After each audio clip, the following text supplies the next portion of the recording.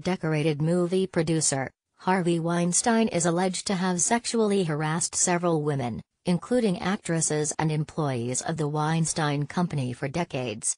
Louisette Geiss joins the growing list of Weinstein's accusers who have detailed Harvey Weinstein's harassment. Yet another woman has come forward with allegations of sexual misconduct against disgraced Hollywood producer, Harvey Weinstein.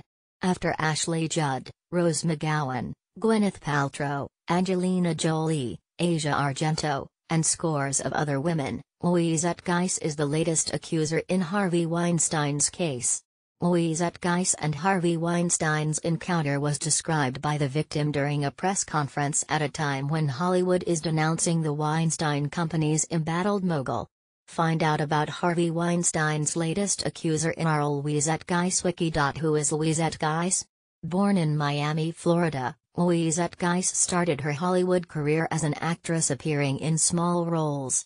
She has few well-known credits to her name, including Wishmaster 3, Beyond the Gates of Hell, Dave's Blind Date, and novel romance.